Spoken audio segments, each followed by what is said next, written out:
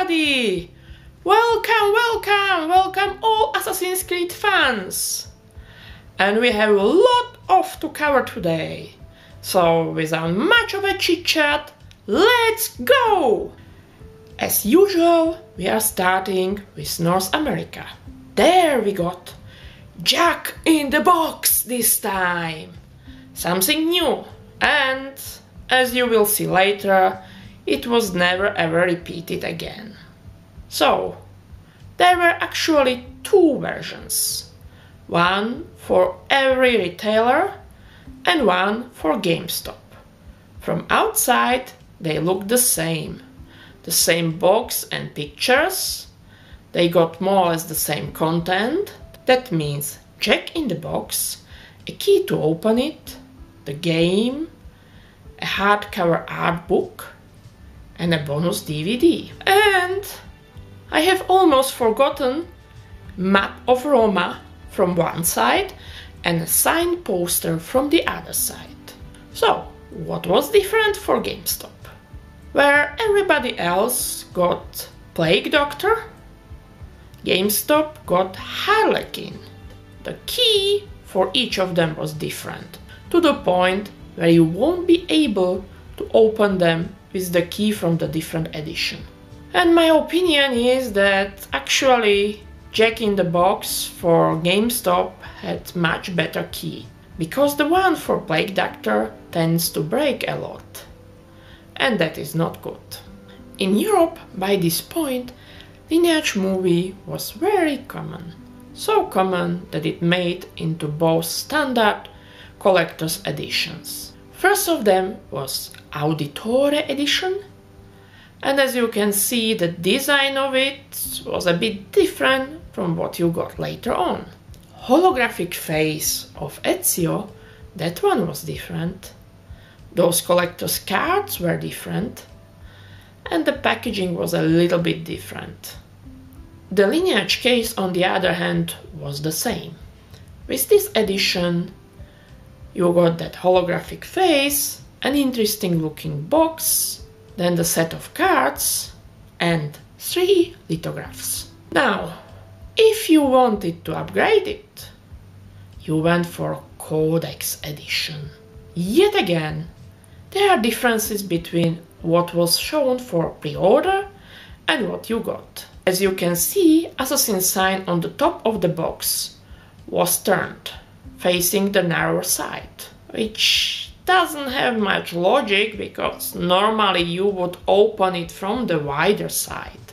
Good thing they decided to correct it. You got practically what was in Auditore edition minus the holographic face, and additionally a very neat looking a hardcover art book plus two bonus DVDs despite that only one was advertised.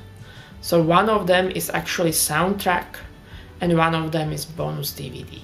And this time you also got the map of Roma, just like people in North America got, except that yours was slightly different and the other side of the poster had no signatures. And what did we get for tinier markets? Here is Czech Republic again, with their Brotherhood Gift Edition. Interestingly enough, despite that it was called in Czech, that word gift was kept in English. So if you are searching for it, keep that word gift there. This one is again a headache to get any kind of hold on, especially unpacked one. That means that I was just happy to get something. Yet again, I know.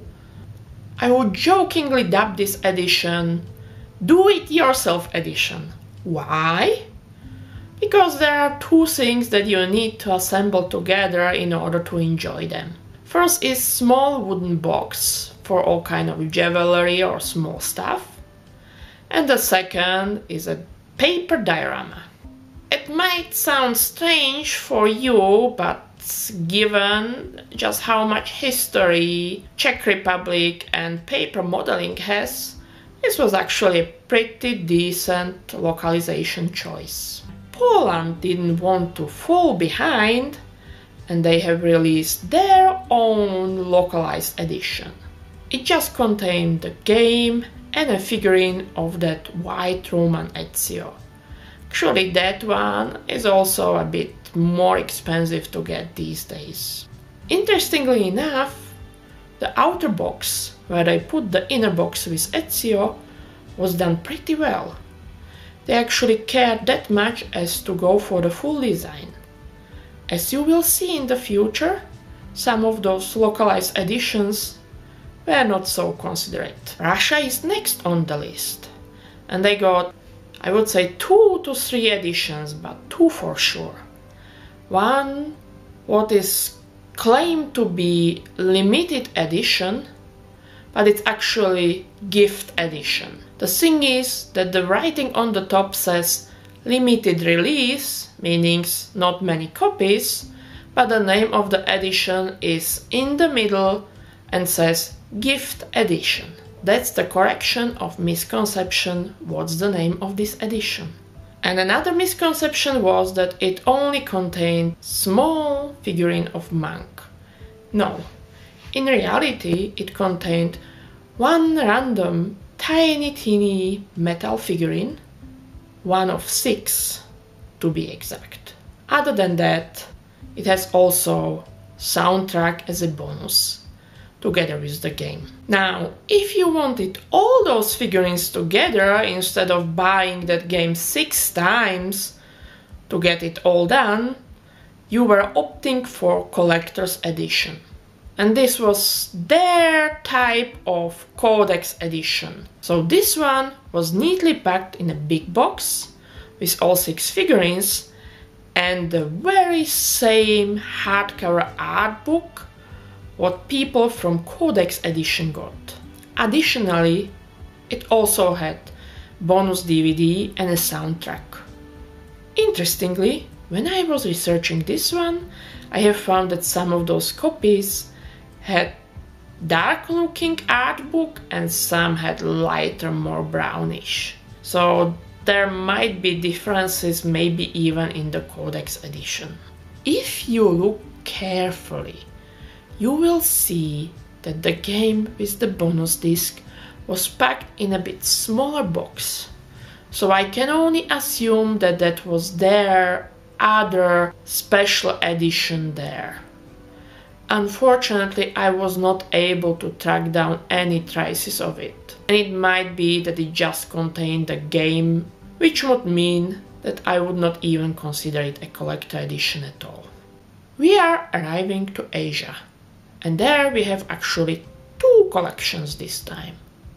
One is Japanese special edition that also included bonus disc packed in one big box. And the last one is the one with that very hard to find steel case together with the game, bonus DVD and set of now differently looking cards. These are blue, even more blue than what you can see on first sketches for Codex and Auditore edition. So this one, my dear collectors, is very hard to get. If you have it, again, you are the lucky ones. Today, I do not have any honorable or dishonorable picks which means that we are at the end of this video. If you have enjoyed this video, give it a like, do not forget to subscribe and you can comment if you have any of these collector's editions and what you think about them. Thank you very much and see you next time with Ezio yet again, this time in Istanbul. Thank you. Bye.